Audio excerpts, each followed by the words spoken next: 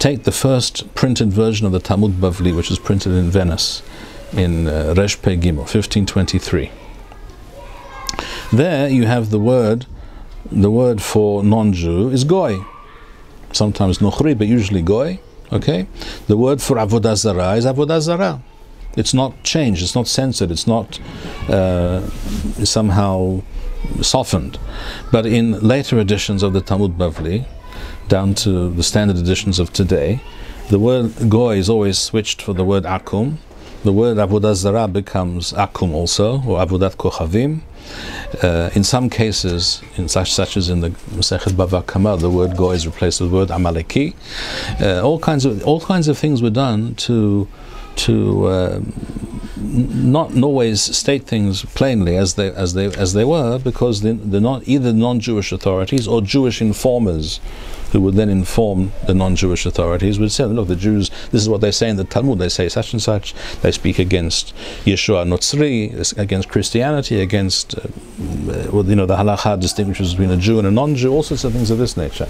There were, there were many very good reasons to be very concerned about this. The, after all, keep in mind, as a result of precisely such um, reports that the church authorities received, in, uh, in, in the Middle Ages, you had the famous, I don't remember the year exactly, but it was in the uh, 14th century, in the 1300s. Uh, you had the famous uh, event of the burning of the Talmud in Paris, in which 70 wagon loads of handwritten manuscripts of Talmud, some of them centuries old probably, were burnt.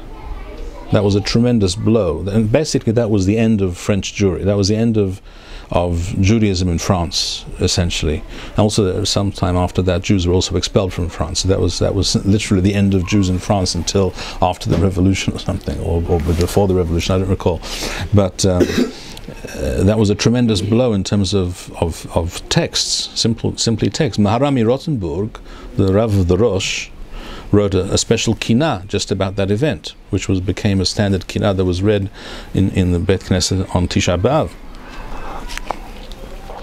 it was a tremendous uh, blow to the entire Jewish world. This this event. So uh, that, that is why the Meiri, who lived um, just after that period, uh, tried to uh, come up with creative ways of explaining various statements in the Talmud, which he himself didn't believe for one moment, in order that it should not be said to the non-Jews, "This is what the Jews are saying. This is what they're reading. This is what they're teaching, and therefore you have to get rid of their books."